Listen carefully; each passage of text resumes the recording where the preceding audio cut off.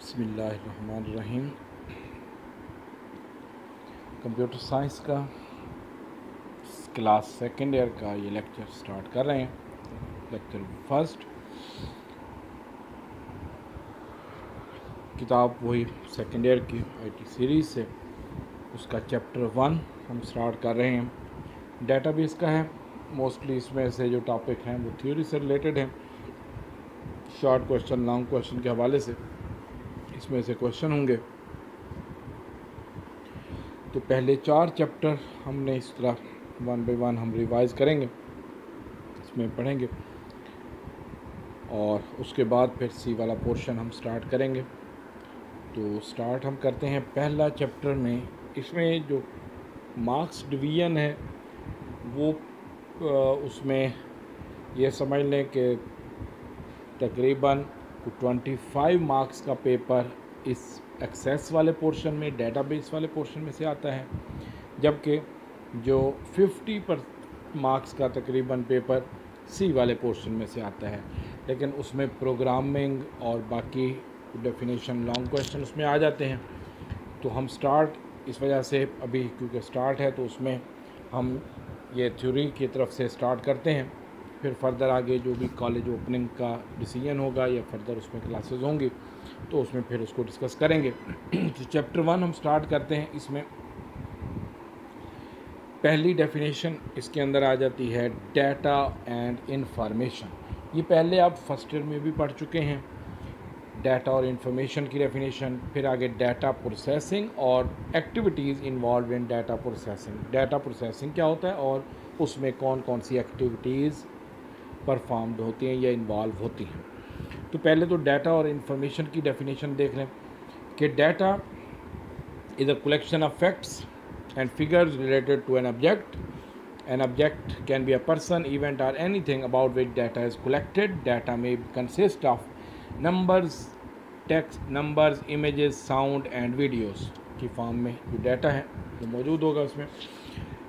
कोई भी चीज़ जो हम किसी शख्स से रिलेटेड कोई मटेरियल है, या किसी इवेंट से रिलेटेड किसी ऑब्जेक्ट से रिलेटेड कोई भी इवेंट कोई भी डाटा कोई भी इंफॉर्मेशन है या डाटा है या कोई मटेरियल है रॉ मटेरियल है, अभी उस पर कोई प्रोसेस नहीं किया हुआ तो उसको हम क्या कहेंगे? Data data is very important for organisation it may be use by managers to perform activities and successful operation of management कि डाटा जो है वो कोई भी ऑर्गेनाइजेशन हो, भले को कॉलेज है शॉप है डिपार्टमेंटल स्टोर है गवर्नमेंट इंस्टीट्यूशन है, कोई फर्म है, कोई फैक्ट्री है तो डाटा जो है वो मोस्ट इंपॉर्टेंट होता है। तीन चीज़ें ये आम रूटीन में कही जाती हैं, जैसे हार्डवेयर सॉफ्टवेयर डाटा तो इन तीनों में से सब जो मोस्ट इंपॉर्टेंट है वो डाटा होता है। हार्डवेयर ख़राब हो जाए, दोबारा से उसको नया परचेज़ किया जा सकता है सॉफ्टवेयर ख़राब हो जाए, वो नया लिया जा सकता है दोबारा से। और जबकि अगर डाटा लॉस हो जाए तो वो डाटा समटाइम्स इम्पॉसिबल होता है उसको रिकवर करना। वन मंथ का टू मंथ का वन ईयर का टू ईयर का अगर कोई डाटा लॉस हो जाए तो हमें याद ही नहीं होगा कि पिछले एक साल की कौन कौन सी ट्रांजेक्शन थी। तो उसमें डाटा जो है वो ऑर्गेनाइजेशन के लिए एक इंतहाई अहम होता है। It provides view of past activities related to rise and fall of organisation के इसमें ऑर्गेनाइजेशन ने बेहतर की तरफ़ उसमें प्रोग्रेस की है या उसमें कोई डाउनफॉल आया है तो वो सारे उसको प्रॉफिट एंड लॉस के हवाले से उसको देखा जाता है। तो इन्फॉर्मेशन में the process data is called information information is meaningful useful and organise it is use for making decisions इसमें कोई भी फैसला हम कर सकते हैं। That is used as an input for processing and information is output for processing. कि उसमें देखें कोई भी डाटा कलेक्ट किया, उस पर कोई प्रोसेस करेंगे, उसका जो रिज़ल्ट आएगा, उसको हम इंफॉर्मेशन कहेंगे। जैसे अगर हम इसकी एग्जांपल देखें सिंपल सी तो उसमें कॉलेज के एडमिशन फॉर्म कलेक्ट हुए। उनको अगर हम देखते हैं कि उसमें ग्रुप वाइज डिवाइड कर लेते हैं डिवीज़न करने का और काउंट करने का जो एक्शन होगा, उसे हम क्या कहेंगे? डाटा प्रोसेसिंग उसका जो रिज़ल्ट आता है कि for example three hundred student medical के हैं टू हंड्रेड नॉन मेडिकल के हैं हंड्रेड आई सी एस के हैं तो इस तरह जितना भी हमारे पास ये नंबर्स में वैल्यू आएँगी कि इतनी तादाद में मेडिकल के, इतनी तादाद में नॉन मेडिकल के या आई सी एस के स्टूडेंट हैं तो इस वैल्यू को, इस वैल्यू को हम क्या कहेंगे? इन्फॉर्मेशन तो ये हमारे लिए यूज़फुल चीज़ होती है। किसी भी ऑर्गेनाइजेशन के लिए, क्योंकि फ़र्दर उसने जो डिसीज़न करने होंगे वो उसी के बिहाफ पर करेगा। तो इसमें information data of student can be process to produce use for information such as total marks जैसे सब्जेक्ट्स के मार्क्स अगर स्टोर कर लेते हैं तो टोटल मार्क्स उसको करना, वो ऑटोमेटिकली हो सकते हैं। उन टोटल मार्क्स के मुताबिक परसेंटेज ऑटोमेटिकली कैलकुलेट हो सकती है, फिर उससे ग्रेड ऑटोमेटिकली कैलकुलेट किया जा सकता है। तो ये डाटा और इन्फॉर्मेशन की डेफिनेशन थी। नेक्स्ट इसमें आ जाता है डाटा प्रोसेसिंग डाटा प्रोसेसिंग में कि कोई भी एक्शन परफॉर्म करना डाटा पर तो उसके लिए हम क्या कह सकते हैं, उसको data processing the process of manipulating data to achieve the required objectives is called is and result is called data processing के प्रोसेस करना किसी भी डाटा को, ताकि कोई भी उससे हम जो मकसद हासिल करना चाहते हैं रिज़ल्ट हासिल करना चाहते हैं, उसको हम डाटा प्रोसेसिंग कहेंगे। The software is use to process data and convert it into meaningful information data जो है वो मीनिंगफुल नहीं होता। इंफॉर्मेशन हमारे लिए मीनिंगफुल होती है, क्योंकि उससे हमने फर्दर आगे डिसीज़न करने होते हैं, कोई भी एक्शन परफॉर्म कराने होते हैं। तो उसके लिए जो प्रोसेस हम परफॉर्म करते हैं डाटा पर तो उसको हम क्या कहेंगे? डाटा प्रोसेसिंग तो इसमें एक्टिविटीज़ कौन सी इन्वॉल्व होती हैं? ये सिंपल वही चीज़ें हैं जो पहले फ़र्स्ट ईयर में आप मोस्टली पढ़ चुके हैं जनरल कंसेप्ट हैं। पहले है डाटा कैप्चरिंग यानी इनपुट गेट करना, कि डाटा जब तक स्टोर नहीं करेंगे तो उसको हम फर्दर आगे प्रोसेस नहीं कर सकते। तो उसमें डाटा कैप्चरिंग में कीबोर्ड से माउस से, या किसी भी सोर्स डाटा एंट्री डिवाइस से इनपुट कंप्यूटर में स्टोर करना, उसको हम क्या कहेंगे? डाटा डाटा कैप्चरिंग, ताकि उस पर फर्दर कोई भी प्रोसेस परफॉर्म किया जा सके। The process of recording the data in some form is called capturing data is captured before it can be process process तो बाद में किया जाएगा, पहले उसको कलेक्ट करेंगे तो प्रोसेस कर सकेंगे। डाटा में be recorded on source document data can also be given directly to the computer through input devices किसी भी इनपुट डिवाइस की मदद से वो डाटा जो है वो दिया जा सकता है। तो डाटा कैप्चरिंग ये पहले इसमें आ जाती है एक्टिविटी जो इन्वॉल्व होते हैं इसमें। सेकेंड है डाटा मैनिपुलेशन डाटा पर मुख्तलिफ़ किस्म के एक्शन हम परफॉर्म कर सकते हैं। अब एक्शन कौन कौन से हैं? मैनिपुलेशन का जो वर्ड है उसमें any action on data is called data manipulation जो भी डाटा पर हम एक्शन परफॉर्म करते हैं, भले plus minus multiply calculation arithmetic या स्टैटिस्टिकल कोई भी एक्शन परफॉर्म करते हैं, उसको हम क्या कहेंगे? डाटा मैनिपुलेशन तो इसमें मुख्तलिफ़ किस्म के हैं, जिस बाज में कैलकुलेशन होती है, कुछ में कैलकुलेशन नहीं होती। जैसे इसमें पहला पॉइंट इसमें आ जाता है डाटा मैनिपुलेशन का क्लासीफाइंग यानी उनको ग्रुप में डिवाइड करना, दर्जाबंदी कर देना। जैसे अभी एग्जांपल हमने डाटा और इन्फॉर्मेशन के लिए, कि जैसे स्टूडेंट्स के रिकॉर्ड्स हम कलेक्ट करते हैं फॉर्म कलेक्ट करते हैं और उनको हम डिवाइड कर लेते हैं ग्रुप वाइज के, के मेडिकल के कितने स्टूडेंट हैं नॉन मेडिकल के कितने आईसीएस के कितने हैं उनकी फाइल्स अलग सेपरेट कर लेते हैं।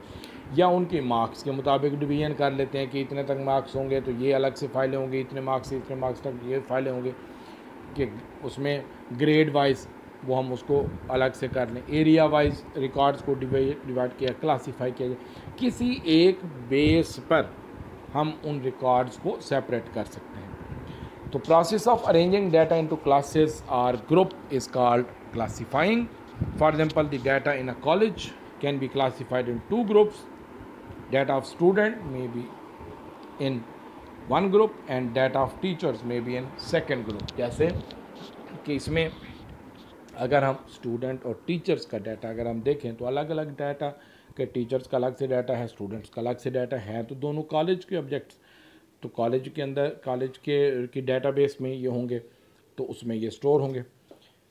तो उसमें हम ग्रुप वाइज उनको सेपरेट कर सकते हैं कि टीचर्स का डाटा अलग है स्टूडेंट्स का डाटा अलग है, या उसमें स्टूडेंट्स के डाटा को फर्दर हम क्लासीफाई कर सकते हैं। सेकंड इसमें आते कैलकुलेशन कोई भी एक्शन परफॉर्म करना प्लस करना डाटा को माइनस करना मल्टीप्लाई करना परसेंटेज निकालना ग्रेड एवरेज कोई भी कैर एनी टाइप ऑफ़ कैलकुलेशन वो हम परफॉर्म करते हैं. तो इसमें process of applying arithmetic operation on data is called calculation the common calculation are addition subtraction multiplication and division for example the total marks of students are calculated to find the grade जैसे में था कि भाई total marks पहले अगर subject wise marks store किए हुए हैं, उनको सम करके टोटल फाइंड कर लिया। उसकी एवरेज या परसेंटेज फाइंड कर ली और उसके बाद उसका जो है ग्रेड ऑटोमेटिकली फाइंड कर लिया। थर्ड इसमें आ जाता है सॉल्टिंग तरतीब देना। Process of arranging data in a logical sequence is called sorting sequence तरतीब देना। जैसे अगर हम कहते हैं कि तमाम स्टूडेंट्स की फ़ाइल मौजूद हैं तो उनको रोल नंबर के मुताबिक तरतीब दे दें या नेम के मुताबिक अल्फ़ाबेटिकली रिकॉर्ड्स को तरतीब दिया जाए। किसी भी बेस पर उन रिकॉर्ड्स को तरतीब दिया जा सकता उसमें फ़ील्ड एक भी हो सकती है, दो भी हो सकती हैं। दो फ़ील्ड के मुताबिक रिकॉर्ड्स को सीक्वेंस में लाया जाए। पहले एक फ़ील्ड को सामने रखा जाएगा, फिर दूसरी फ़ील्ड को सामने रखा जाए। तो इसमें process of arranging data in, in a logical sequence is called sorting. Data can be sorted numerically or alphabetically. यानी नंबर्स के मुताबिक भी और अल्फ़ाबेटिकली भी उसको असेंडिंग या डिसेंडिंग किया जा सकता है उसमें असेंडिंग भी हो सकता है डिसेंडिंग भी हो सकता है तो इसमें जैसे अगर अब टेन मार्क्स के हवाले से हम कहें कि जिनके हाईएस्ट मार्क्स हैं उनके रिकॉर्ड पहले हों फिर उससे कम वाले फिर उससे कम वाले तो ऑटोमेटिकली हम जस्ट एक बटन प्रेस करने से जो है वो सारा रिकॉर्ड जो का सीक्वेंस जो है वो ऑटोमेटिकली वो चेंज किया जा सकता है, किसी डेटाबेस में भी या एप्लीकेशन सॉफ्टवेयर में भी ये हो सकता है कंप्यूटर में हम कर सकते हैं। फोर्थ इसमें आ जाता है समराइजिंग कि डाटा को समरी की फॉर्म में, यानी प्रिसाइज फॉर्म में इंफॉर्मेशन को देखना। कि एक है लार्ज अमाउंट में डाटा है, उसको प्रोसेस करके वो समरी की फॉर्म में रिज़ल्ट शो करे। जैसे अगर हम कहते हैं कि डेली बेस पर स्टूडेंट्स ड्यूज़ जमा कराते हैं तो अगर इसकी समरी फाइंड की जाए कि आज के दिन में टोटल कितनी अमाउंट कलेक्ट हुई है। तो अगर हंड्रेड स्टूडेंट ने आज पेमेंट की है, आज के दिन की टोटल की हंड्रेड स्टूडेंट की टोटल जो अमाउंट होगी, वो जस्ट शो करे एक लाइन में तो ये आज के दिन की क्या होगी? समरी होगी। इसी तरह अगर डेली बेस पर ये सारा कैलकुलेशन करते जाएँ तो अगर हम उसमें मंथ एंड पर पूरे एक महीने की कि हर रोज़ की कितनी अमाउंट जमा हुई है तो वो सारी हम कैलकुलेट कर सकते हैं। डिटेल्ड रिकॉर्ड्स की बजाय जो उसमें समरी ऑप्शन होंगे, वो उसमें आ जाएगा। The process of reducing a large amount of data in a more concise and usable form is called summarising for example the data of student in a class can be summarise to show the number of passed and fail students इसी तरह output के हवाले से हम देखते हैं कि output किस तरह मैनेज कर सकते हैं हम। पहला तो इसमें स्टोरेज के हवाले से आ जाता है कि process of retaining data for future use is call data storage लेकिन रिटेनिंग के डाटा हम जब दोबारा हासिल करना चाहें तो वो हम हासिल भी कर सकें। तो कहाँ पर स्टोर कर सकते हैं? तो उसके लिए मैग्नेटिक स्टोरेज हैं ऑप्टिकल स्टोरेज है, या मुख्तलिफ़ टाइप के सॉलिड स्टेट स्टोरेज है। यानी हार्ड डिस्क है फ्लॉपीज़ हैं U S U S Bs हैं, या उसके अलावा सी डीज़ या डी वी डीज़ हैं। तो उन पर हम डाटा स्टोर कर सकते हैं। किसी भी डिवाइस पर, जैसे यहाँ पर हार्ड डिस्क और मैग्नेटिक टेप का है मेंशन किया टेप ये बहुत पुरानी डिवाइसेस है, पहले यूज़ होती थी, आजकल इतनी यूज़ नहीं होती। तो सेकंड इसमें रिट्रीवल का आ जाता है प्रोसेस ऑफ़ असेंडिंग और fetching the record is called data retrieval कि जब हम डाटा को स्टोर करते हैं तो जब डाटा एक्सेस करना हो, उठाना हो व्यू करना हो तो उसको हम रिट्रीवल कहेंगे।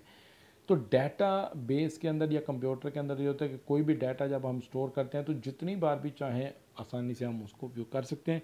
Data can be retrieve as and when required data can be displayed in different form such as reports graphs charts data को हम मुख्तलिफ़ हवाले से भी देख सकते हैं। जैसे अगर हम कहते हैं कि नुमेरिक डाटा था तो नुमेरिक डाटा को अगर हम चार्ट की फॉर्म में भी देखना चाहें ग्राफ की फॉर्म में तो ऑटोमेटिकली डिफरेंट सॉफ्टवेयर या डिफरेंट चीज़ें यूज़ होती हैं जिससे वो डाटा उसमें कन्वर्ट हो जाता है।